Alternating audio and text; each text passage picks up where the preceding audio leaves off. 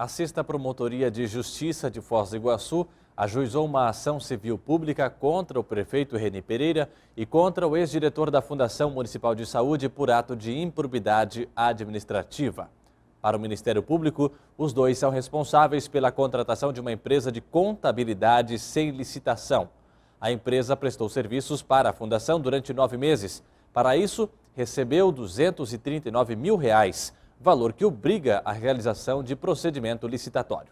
Se for condenado, o prefeito Reni Pereira pode ter, os, pode ter suspensos os direitos políticos, pode ser obrigado a devolver os valores ou então perder o cargo. A assessoria de comunicação informou que o prefeito não vai se manifestar sobre o assunto, pois ainda não foi oficialmente notificado pelo Ministério Público.